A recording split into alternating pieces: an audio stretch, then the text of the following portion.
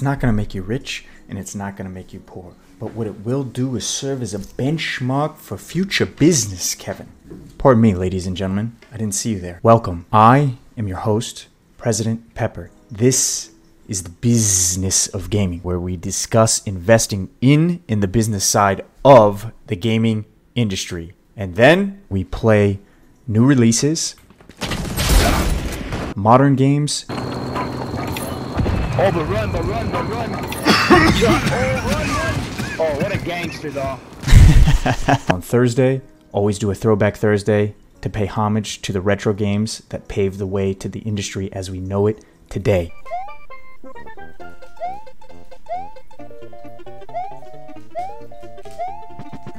You can find me here live on Twitch every Monday, Tuesday, and Thursday at 3:30 Eastern. Now, if you'll excuse me, I have to take a call.